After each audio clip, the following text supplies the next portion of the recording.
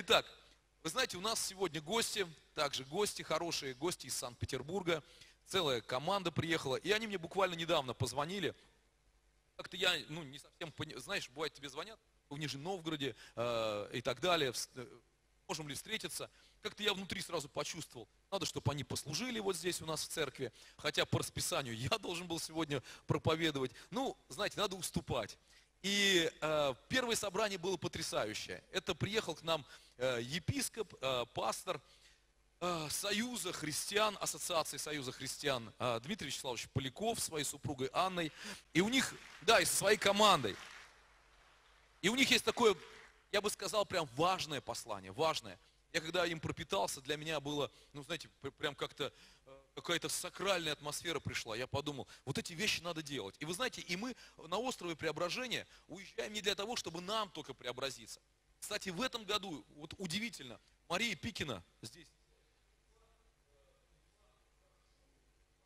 Первого э, острова, брошюру, то есть рекламная, для приглашения на остров, это еще 99 год. И мы прочитали вот цели, ради чего мы едем туда, на этот остров. Нас приехало меньше 30 человек первый раз на этот выезд. И там совершенно ясно было написано, что мы едем для того, чтобы молиться по деяниям апостолов, 1 глава, 8 стих, где сказано, но вы примете силу, когда сойдет на вас Дух Святой. И будете мне свидетелями в Иерусалиме, Иудее, в Самарии и даже до края земли. И вот этот посыл о том, что мы ехали сначала, не просто поболтаться в палатке, пожарить там картошку, а мы ехали помолиться за Нижний Новгород, как за Иерусалим, потом за область, как за Иудею, потом за Самарию, как вообще за всю страну, Палестину тогда, у нас страна Россия, за Россию, и потом до, даже до края земли. И знаете, Бог даже дал какой-то знак, что каждый год к нам всегда приезжали какие-то иностранцы.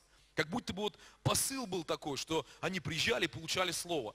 Сейчас нет времени говорить все свидетельства, сколько у нас было просто потрясающих свидетельств не только на острове, а люди, которые там преобразились и потом пошли в другие страны, и они уже даже церкви начали в других странах мира, представьте.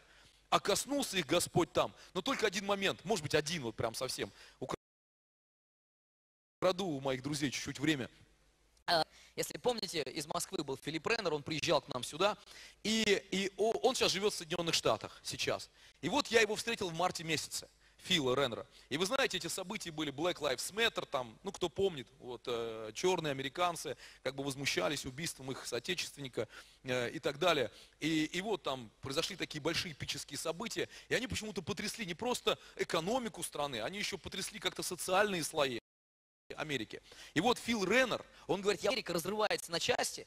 И вот у нас, у нас на острове здесь, несколько лет назад, он получил откровение служить Богу своим прославлением. И он во время Black Lives Matter ездил по всем штатам и приезжал в столицу, и на ступеньках Капитолия, то есть в каждом, в каждом городе есть дом правительства. О, простите, в каждом штате есть дом правительства. И вот на ступеньках дома правительства он проводил прославление. И до сих пор это делает. И я когда его встретил, я говорю, Фил, что у тебя за откровение такое? Он, не поверишь, это я получил слово у вас на острове. Когда я был на острове в Нижнем Новгороде, я думаю, наш Нижний Новгород играет такую роль, чтобы примерять американцев по всей Соединенным Штатам Америки. Ну, слушайте, ну не прекрасно ли это? Поэтому у Бога есть такие вот шаги. Поэтому давайте сейчас послушаем очень важное послание. Дмитрий Вячеславович, Анна, мы ждем вас. Давайте, пожалуйста. Санкт-Петербург, туманный Санкт-Петербург, но с теплым сердцем.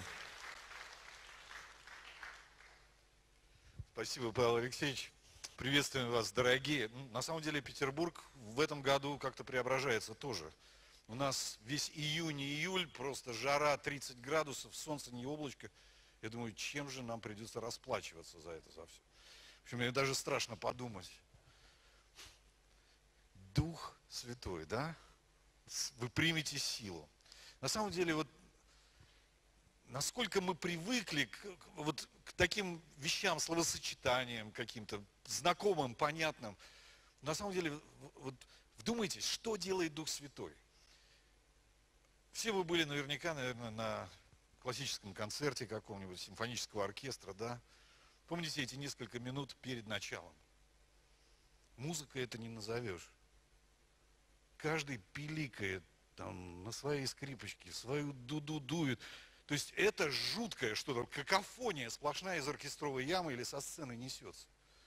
Но выходит дирижер, взмах палочки, или по пульту постучит, тишина, и звучит музыка. Вот именно этот Дух Святой делает, как Он оркеструет вообще дары, как Он нас направляет, каждого из нас, все, множество призваний, множество темпераментов, взглядов, мнений, точек зрения, совершенно разных способов выражения Он берет и соединяет воедино, и творит нечто небесное, невероятное. Да, и все наши шероховатости сглаживает. И вот это, на самом деле, это такое драгоценное, потому что я на самом деле не знал в отношении того, что остров преображения изначально служил для того, чтобы молиться о пробуждении. 23 года вы молитесь, вы несете это. Вы верно несете из года в год. На самом деле это драгоценность великая, потому что сегодня мы, я объясню, почему мы здесь, что нас привело сюда. И поэтому расскажу немножко предысторию определенную. 2014 год. Мы не молимся о таких вещах, мы просим наоборот, Господи, пусть минует чаша сия нашу жизнь. Мы просим о том, чтобы было все хорошо, гладко, чтобы мы были здоровы, чтобы все наши близкие и, и, и дальние были здоровы, чтобы наши домашние животные были здоровы, чтобы все было хорошо. Правда же? Это же всегда в наших молитвах. Но мы, наверное, не раз с тем, что не всегда все выходит так. И все равно Писание говорит, чтобы во всех путях наших мы познавали Его. Ну, на нас свалилось испытание, серьезное испытание. Очень неприятный диагноз. Онкология у моей жены, ну, большая агрессивная опухоль, неоперабельная, риск там, кровотечения необратимого и так далее. То есть, и мы действительно вдруг все как бы замерло. С одной стороны, масса специалистов всевозможных и много голосов нас начало рвать в разные стороны. Там, делайте это, или это, или это. Мы поняли, что мы не можем делать и то, и другое, и третье. Нам нужно единственное, один. Знает, что... И мы просто остановились. До полной остановки мы поняли, что мы на минном поле. На минном поле не нужно играть в футбол и бегать, сломя голову.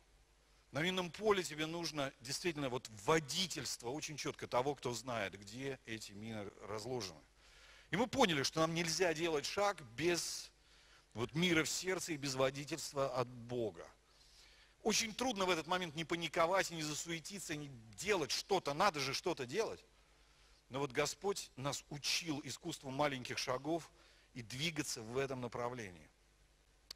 И спустя 7 месяцев – такого пути, хождению по, буквально по краю. Господь сотворил чудо. Неоперабельная опухоль исчезла.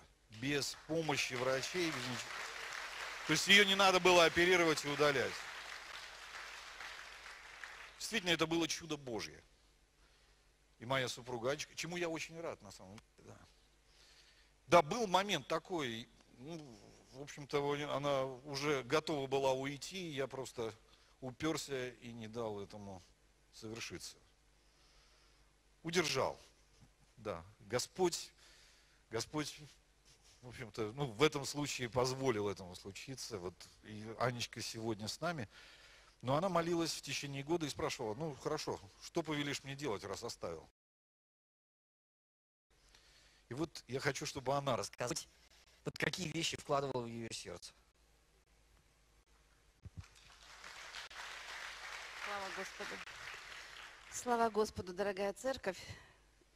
Вообще самое, самое лучшее место, где человек может быть на земле, это церковь. И, знаете, любить церковь – это привилегия, и быть частью церкви – это просто вот такая привилегия и такая радость. Поэтому каждый раз находясь в новом собрании, я вижу вот эту грань красоты Божьей. И я уже второй раз в вашем собрании. И я увижу вторую грань вашей церкви. И вы прекрасны. Вы нижегородцы, правильно сказала? Бог вас очень-очень любит. И мы, петербуржцы, мы вас тоже очень-очень любим. И мы обогащаемся вашей красотой, вашим миром, вашей любовью, потому что Бог, Он настолько прекрасен и многогранен, и многообразен, что вот нам есть, знаете, вот есть чему, извини, может быть, я немножечко подольше скажу, но когда мы приезжаем в какой-то город, мы смотрим достопримечательности, да, туристы, все, все из вас были когда-то туристами. Так вот, я, приезжая в, новый город, я считаю, что самая большая достопримечательность – это тело Христово. Поэтому вы моя самая большая достопримечательность Нижнего Новгорода. И вы знаете, всех, вот э, я, может быть, не, небольшого роста, небольшого веса, но у меня большое сердце, которое может вмещать стольких людей, что я даже сама со счету сбиваюсь. Поэтому я могу сказать, что я вас увезу с собой и буду носить вас как драгоценность. К ангелам. Бог сказал в Псалме 90, что ангелам своим заповедую охранять тебя на всех путях. И когда Бог исцелил меня, я действительно спрашивала его, что же делать. И молясь за нашу страну, молясь за семьи, молясь за церковь, потому что молитва это как дыхание, мы не можем быть без молитвы, если мы знаем Бога. И поэтому вот в этом контексте молитвы, и это как раз было перед Рождеством, я размышляла о ангелах, которые были вестниками, которые были свидетелями того, что приходит Христос. И ангелы ликовали, когда он родился. И, в общем, ангелы знакомы абсолютно каждому человеку, верующему, неверующему, верующему во что-то другое, потому что все равно ангел, он такой образ, который просто указывает на то, что Бог есть. И он открывает эту благую весть Божью для нас с вами. Поэтому после года обращения к Богу, после исцеления, он сказал, установить образ наших с вами молитв за нашу землю в виде ангела с одной стороны нашей страны на западе и на востоке. И чтобы эти два ангела, они были как вот эти херувимы на крышке ковчега, между которыми являлась слава Божья. И наша страна, она самая большая в мире по протяженности. И, честно говоря, я думала, что вот эти два ангела, которые Бог сказал установить, что это чисто для нашей страны, чтобы мы смотрели, ну, чтобы мы были в таком единстве, потому что наш герб – это два орла, и головы смотрят в разные стороны, а тут, получается, два ангела, наоборот, соединяют и окутывают нашу страну. Но когда мы посмотрим на земной шар, то Бог говорит, вся земля полна славы моей. И поэтому наша страна – это как крышка ковчега. А вся земля – это ковчег Божий, который Он желает наполнить своей славой. Поэтому установка этих двух ангелов – это просто пророческое действие, которое Бог побудил нас сделать вот как раз в рамках молитвы за пробуждение. Поэтому я благодарна Богу за то, что многие люди присоединились к этому. И действительно, Бог помогает вот всем, кто желает Его искать, ангелы, они помогают обратиться к Нему. Потому что эти ангелы – это образ Божьего благоволения к нам. И это образ наших молитв к Нему. Поэтому я э, передам, наверное, слово. Они показали? Нет еще. А, покажите, пожалуйста, ангелов, чтобы было понятно, о чем говорим. Вот. Это таких, э, это он отлит из бронзы, э, вся его высота вместе с пьедесталом 5 метров 40 сантиметров. Ангел сам, он метр восемьдесят. Поэтому и они будут два идентичных ангела.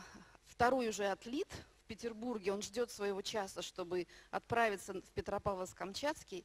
Вот. А этот установлен 11 сентября 2019 года. И мы не знали, в какое время будет установлен этот ангел. И вот как раз в этот именно день, 11 сентября, когда, если вы помните, свершилась такая трагедия в Соединенных Штатах, когда два э, здания рухнули, вот, и это была трагедия. Вот, но Господь, Он благ и милостив ко всем нам ныне живущим, и Он желает, чтобы мы каким-то образом присоединили свое сердце, свои молитвы к вот этому общему пробуждению, которое Он хочет видеть и свершить в нашей стране и через нашу страну. Все, наверное. Спасибо, Анечка. На самом деле все развивалось постепенно и не до конца было понятно, потому что иногда Бог говорит какое-то слово, что-то показывает. Иногда наш разум не в, конце, не в состоянии просто обня, объять это все, и мы просто двигаемся верой, потому что когда все понятно, ну что там и верить-то. А вот здесь действительно это было путешествие веры, и, в общем-то, мы никогда такого не делали, мы обратились к администрации города Сартовала, потому что мы там много молились. И на удивление мэр города поддержал идею, он очень заинтересовался этим и а, побежал сразу искать место. И нашли это место на горе Куховори, это центральный парк такой в городе Сартовала, и гора возвышается над всем городом. И лучше места для ангела не найти было. И вот именно в тот момент, когда мы поняли, как он будет стоять, он будет обращен лицом на восток, мы поняли, что второй ангел будет на Дальнем Востоке, обращен лицом на запад. Чтобы вот как в 25 главе исхода, в 27 стихе говорит Господь, Он заповедал Моисею сделать ковчег из дерева сетим, и на крышке ковчега херувимов чеканные работы, обращенных лицом друг от друга, осеняющими крыльями крышку ковчега. И он говорит, и там я буду открываться тебе. И говорить с тобою над крышкой посреди двух херувимов, которые над ковчегом откровения.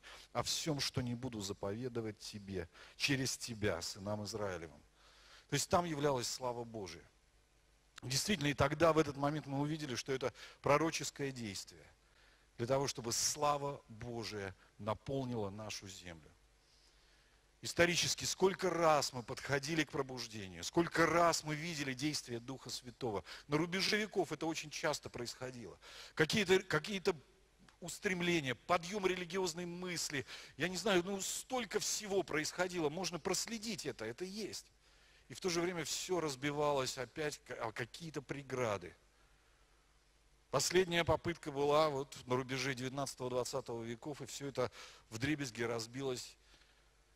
А, Октябрьскую революцию, кстати, которая в Питере, да, три, город трех революций. Там это все происходило. И я принимаю ответственность за это. Но нам дан шанс. Мы же видели, как в 90-е годы просто без помощи рук человеческих, действительно, очень похоже на то, что описывается да, в книгах Ездра, Неемия, Агея и Захария. Да, когда царь Кир, язычник, вдруг проснулся, пришел в себя и говорит, слушайте, а что они делают? У вас разве земли своей нет? Может быть, вам нужно туда вернуться и делать то, что вам Бог заповедал? И точно так же у нас я не знаю, быв, бывшая вся советская номенклатура вдруг Горбачев затеял перестройку. Никто не понимал, что это значит. Никто не понимал. Все думали, перестройка, гласность и так далее. И все за что-то взялись. И вдруг неожиданно для всех просто рухнула старая система, она обрушилась и все. И сюда хлынула свобода. Другое дело, как мы ей распорядились и что с этим делать, мы до конца даже и не понимали вначале. Но самое это главное, вот когда, когда я путешествую по стране, когда я езжу в разные регионы, есть время подумать. Расстояния большие. И вот когда я читаю эти книги, я понимаю, что это, по сути дела, для нас инструкция. Это путеводитель, это гид в отношении того, как нам возвращаться из нашей версии вавилонского пленения. Мы тоже 70 лет там провели.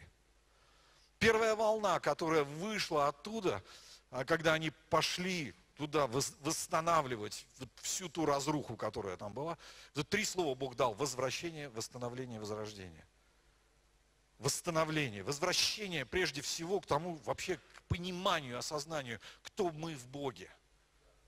Кто мы вообще? Какое предназначение для нас? Вернуться туда, в то место, откуда, откуда Господь нас призывает двигаться дальше. Восстановление, восстановление алтаря, место встречи с Богом в вертикали поклонения, то есть точки отсчета, потому что отсюда только можно двигаться в правильном направлении. Если проигнорировать это место общения, встречи с Богом, то можно прийти не туда, куда хочешь. И в конце концов возродиться как нация в призвании Божьем. не в выдумывании каких-то новых национальных идей или суррогатного патриотизма или еще чего-то, а именно для того, чтобы услышать от Него, кто мы в Нем, что Он хочет делать через нас. Все мы слышали о пророчествах. Это говорили и старцы православные, и из западных пророков много. Одно наиболее известное это пророчество Хадсона Тейлора, когда он миссионер в Китае, который к России не имел никакого отношения. В своей церкви методистской в Англии просто читал проповедь. Методисты читают проповедь, стоит и читает. И вдруг его накрыл Дух Святой. Он как парализованный стоял, у него глаза были закрыты, он стоял и не двигался. Его методистское собрание, паства забеспокоилось, что с ним произошло. Потом он пришел в себя, и он стал пророчествовать и говорить о том, что он видел. Он видел. Он видел две войны, которые, по сути дела, оказались одной войной. Это первая, вторая, и первая и вторая мировая война. Он говорил о том, что он видел множество различных очагов пробуждения в разных частях этого мира. И потом он говорит, я увидел всеобъемлющее пробуждение в России равных которому не было и не будет. И это пробуждение было такой силы, что оно вышло за пределы России, преобразило Европу и затем явилось, по сути дела, как бы катализатором глобального пробуждения. И вслед за этим он увидел пришествие Господа Иисуса Христа. Его трудно обвинить в славянофилстве, потому что он к России не имел никакого отношения. Но Бог очень часто берет человека совершенно неконгруентного, не связанного, ну вот без какого бы то ни было намека на то, что он может быть как-то заинтересован. Просто Дух Божий сходит на человека, и он говорит то, что хочет Бог. Теперь вопрос, действительно, мы все молимся о пробуждении, мы все хотим этого. Когда мы занимались ангелами, мы до конца и даже не понимали, а зачем это нужно мы же с живыми ангелами общаемся. Они же нас хранят, защищают. Мы, мы же, это же суть служебные духи. Зачем нам в бронзе кого-то отливать и ставить как памятник? Ну и опять же разные мнения были тоже. Что там идолов теперь надо тебе э, начали ставить? Зачем это надо? И вот интересно то, что вроде бы разуму это было непонятно, но Господь показал, что должно произойти в связи с этим. И мы увидели, что вот этот второй ангел, который будет двигаться в Петропавловск-Камчатский, мы там были, встречались с администрацией, идею поддержали, есть ряд нюансов, и, конечно, вот эта эпидемия отредактировала слегка планы всеобщие. Но, тем не менее, это осуществится. Но то, что Господь сказал, что, по сути дела, по мере того, как ангел будет двигаться на Дальний Восток, он хочет, чтобы мы с молитвой прошлись по стране через 10-11 часовых поясов, да, через каждый регион, в разных городах, увидеть церковь, увидеть ее портрет. Портрет сегодняшней церкви, увидеть каждый штрих, каждый оттенок, увидеть все это многообразие, всю эту красоту, великолепие. Увидеть, насколько она многообразна насколько она не соответствует просто какому-то шаблону, насколько она вырывается из привычных стереотипов. Увидеть вот эту церковь многообразную, написать ее портрет, помолиться за нее в разных регионах, в разных местах, обнять ее молитвой, действительно и выразить свою любовь к ней. И мы здесь для того, чтобы почтить вас, ваш труд, ваше служение здесь, в этом месте. Нижний Новгород всегда был щитом. Это был, было место обороны. Восточный, да, вот если бы мы были в прошлом, перенеслись на сколько? 800 лет тому назад, да? Даже 500. Тогда ангела нужно было бы ставить здесь. Но поскольку все-таки мы с тех пор далеко продвинулись, нам нужно будет это сделать на Дальнем Востоке. Остается все той же бронзовые ангелы, по сути дела, просто на самом деле, они как бы видимый знак определенный. И видимый знак понятный определенным категориям людей. На самом деле, как это ни странно, это вдруг почему-то было понятно администрации города Сартовала. Интересно, что ну, такие проекты не осуществляются без поддержки администрации. Невозможно это сделать. Невозможно, ну, правда, ну, в Церетели тоже он ночами бывает, поставит статую и все, а потом разбирайтесь, делайте с ней что хотите. Но там поддержка администрации тоже была. Вот. Но здесь речь идет о том, что нам все равно нужно каким-то образом научиться взаимодействовать с теми, кто сегодня у власти. Большой вопрос. Мы же любим, любить, любим быть ниже радара, чтобы нас особо не замечали, ну, потому что каждый раз, когда заметят, начинаются какие-то проблемы. Вы это не понаслышке знаете. Но много приходится биться и сражаться. Я думаю, может быть, каким-то образом, пока есть возможность, может быть, инициировать какие-то проекты, которые им понятны, может быть, в которых они хотят участвовать, может быть, на которые у них есть федеральные средства выделены. Кто знает. Но каким-то образом вот такой проект осуществить. Мы, мы, например, выступили с этой инициативой. Ну, нас знали там, и поэтому не было особых таких проблем.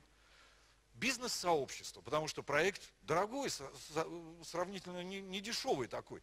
Поэтому бизнес-сообщество подключилось и получилось так, что бизнес-сообщество, оно умеет говорить на языке администрации.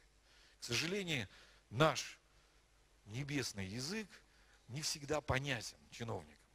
И вот тут три разные группы людей сошлись, но благодаря инициативе церкви. И вдруг началось преображение. Причем преображение началось на другом уровне совершенно. Не просто в рамках наших каких-то скромных возможностей как церкви, а на уровне города. Мы вдруг увидели, какие-то странные метаморфозы начали происходить. Естественно, много молитв было, потому что без молитвы вообще никуда не двинуться. Но вдруг неожиданно федеральные власти выделили какие-то невероятные гранты на приведение в порядок этого парка, на который они пытались 20 лет какие-то средства собрать. Ничего не получалось. И вдруг неожиданно, вот так вот, после того, как ангел там стал. Там стали восстанавливаться церкви, церкви, которые, бывшие лютеранские церкви, которые одни стены, без крыши. Вместо окон просто отверстия, дыры, бойницы такие церкви, которые были, горели и так далее, были заброшены, они вдруг начали восстанавливаться. Мы в одной из таких церквей, просто проезжая ее, сердце кровью обливалось, мы однажды остановились и просто помолились и поклонились Богу там. Записали там, и, и просто зафиксировали это для себя, записали видеоклипчик один. Мы потом его вам перешлем. И потом вдруг мы поняли, что нам нужно собраться здесь и восстановить эту церковь в духе. Церковь интересное очень такое место. Вернее, не просто место, а это некое явление. У церкви не всегда был храм в пространстве. Но у нее всегда был храм во времени. Когда у вас не было возможности собираться в этом месте. Храм у вас был всегда. Чувствуете разницу? И как только как только Израиль ставил храм в, в определенном пространстве выше храма во времени, выше присутствия Божьего, тогда сразу же Господь отправлял их подумать на 70 лет куда-нибудь в Вавилон.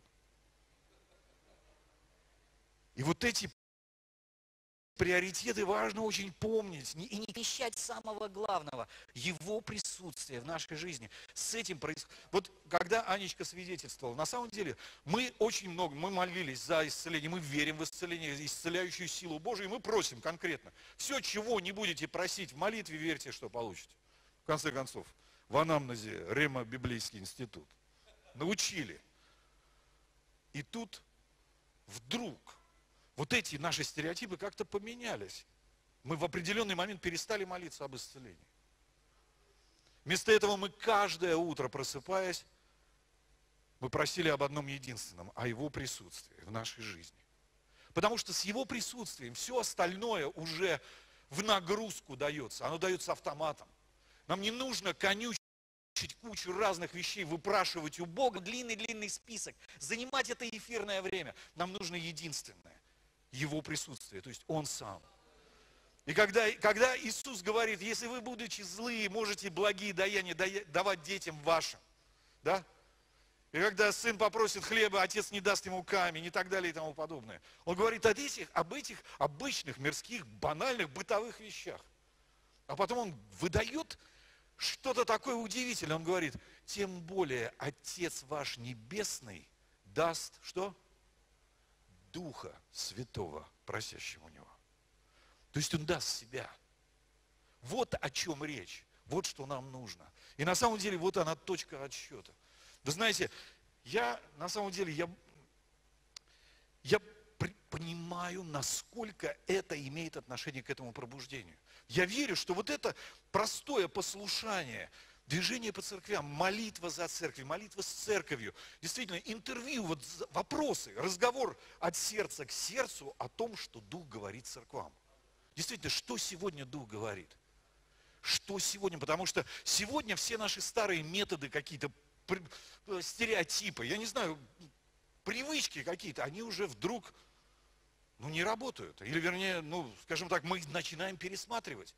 Слава Богу, понимаете, вот эти кризисные ситуации, которые нас обложили, они помогают нам увидеть что-то новое.